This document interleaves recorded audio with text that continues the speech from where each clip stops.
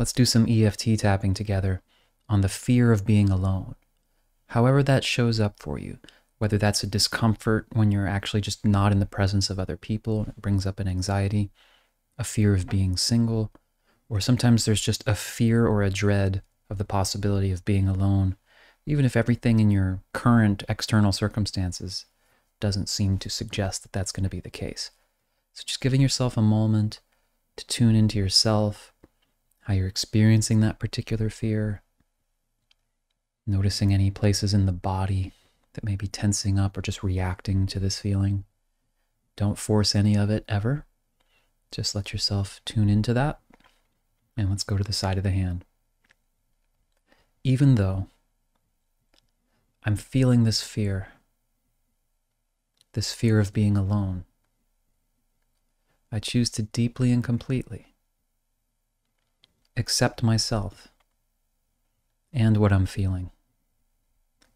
Even though I'm feeling this fear, it's a fear of being alone. I choose to deeply and completely honor myself and what I'm feeling. Even though I'm feeling fear, it's a fear of being alone. However, that's showing up for me. Whatever I'm experiencing in my body, and whatever my mind happens to be showing me, whatever idea or previous experience that has me associating the experience or the idea of being alone with such intensity as something we have to fear. I'm sure there's a reason for that. And I choose to deeply and completely honor and accept myself and everything I'm feeling. Now, through the points, this fear this fear of being alone, this fear. I can feel it. Sometimes it's really strong. Sometimes it's activated. Perhaps when I sense that I'm going to be alone, or I imagine it happening. Other times, Maybe it's just something. Something in the background. A general sense of anxiety. Something that's not at ease. saying, What if I end up alone? What if I end up alone? What if I'm going to be alone? I'm afraid to be alone. There's so much fear, such an intensity around being alone. And I want to give myself permission, give myself some space for whatever it is, whatever parts of me experienced whatever they did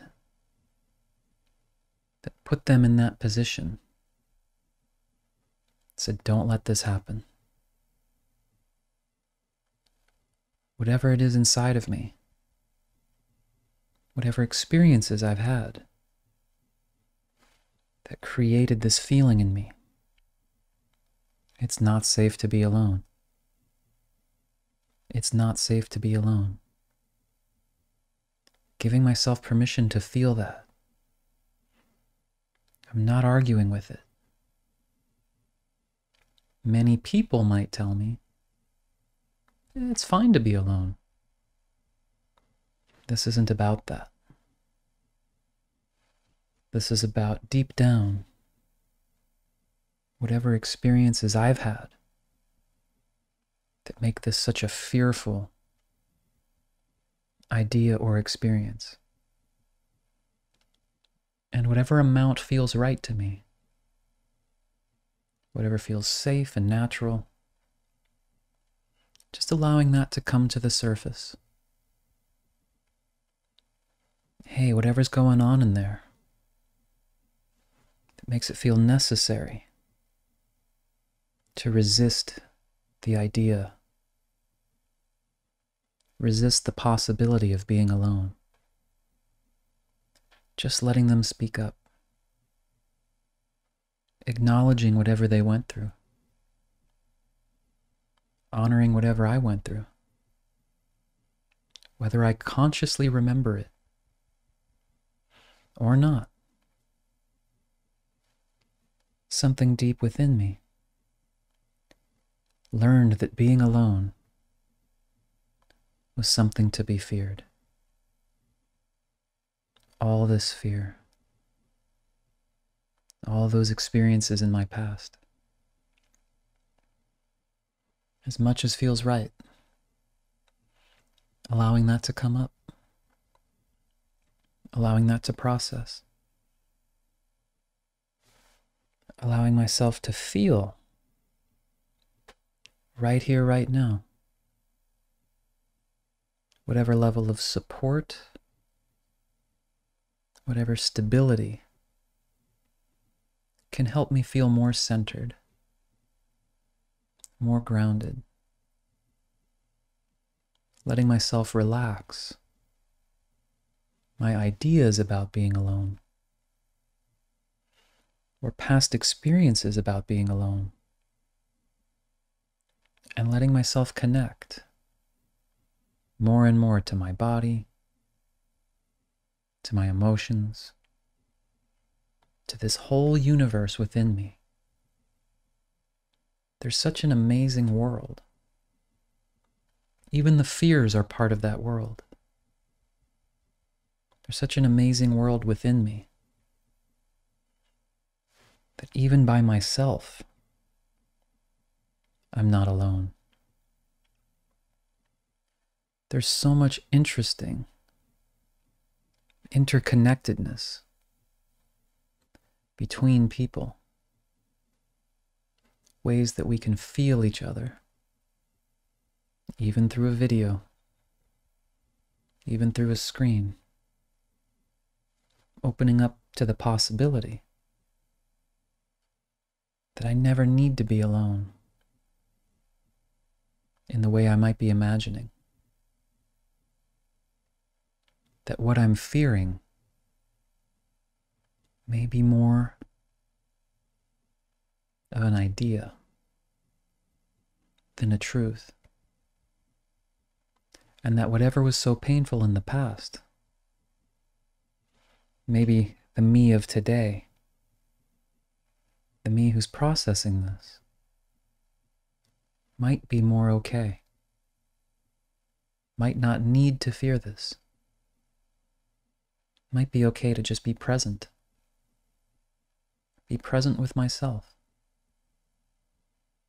open to the possibility that I can support myself, that I can be present with myself, that there is a relationship here a relationship between me and myself at all times, and doing whatever I can to best support that relationship. Just relaxing the fear, feeling as centered and grounded as is accessible to me now. Okay, take a breath.